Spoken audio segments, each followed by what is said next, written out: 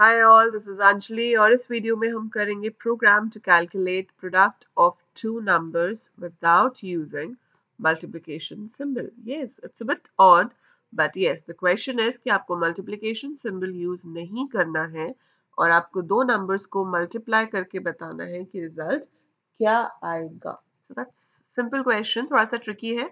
Trick सिर्फ़ इतनी है जो आप छोटे होते शायद क्लासरूम में करते थे, मैथ्स क्लास में, जब आपकी मैम आपसे पूछती थी कि बताओ थ्री इंटू फाइव क्या होता है। तो आपको टेबल तो याद नहीं होता, लेकिन आप क्या करते हो, फटाफट फाइव को थ्री टाइम्स ऐड कर लेते हो। तो I just do five plus five plus five that is fifteen so I say answer so this is what we are going do है जो आप क्लासरूम चीटिंग करते थे, थोड़ी बहुत, उसी लॉजिक से हम प्रोग्राम बना सकते हैं।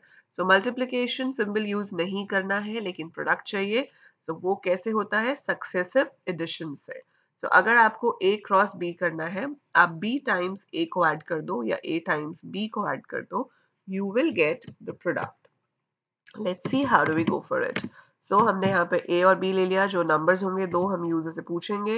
एंड प्रोडक्ट चाहिए।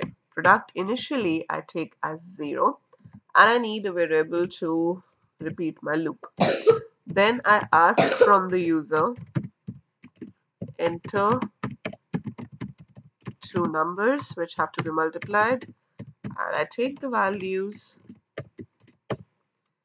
in A and B.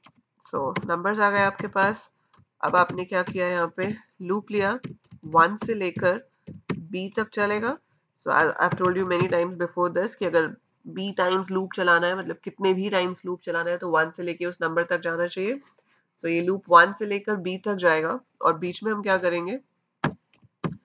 Product plus equal to A तो ए को उतनी बार हम ऐड करते जाएँगे प्रोडक्ट में। सो so, प्रोडक्ट पहले ज़ीरो था जैसे ये थ्री फाइव इंटू थ्री करना होता तो ए में फाइव है बी में थ्री है लूप तीन बार चलेगा। पहले आपके पास प्रोडक्ट में ज़ीरो है तो ज़ीरो प्लस फाइव क्या देगा? फाइव अगली बार प्रोडक्ट में फाइव है और ए तो है ही फाइव तो फिर से क्या आ जाएगा? टेन उससे नेक्स्ट टाइम में प्रोडक्ट टेन है लेकिन जो ए है वो क्या है? Five so that will give me fifteen and that's how we get the result so simple so इसको अब हम प्रिंट करा देते हैं. सो so, प्रिंट क्या कराएँगे? Print F we are going to print the product so हमने यहाँ पे कहीं पे भी मल्टीप्लिकेशन साइन यूज़ नहीं किया है. so product of numbers is percentage t and that product is in PROT we printed. So bina multiplication sign ko use kiye we have calculated the product of two numbers. So when this program executes, I enter 8 and 4. It's going to add 8 four times and I get 32.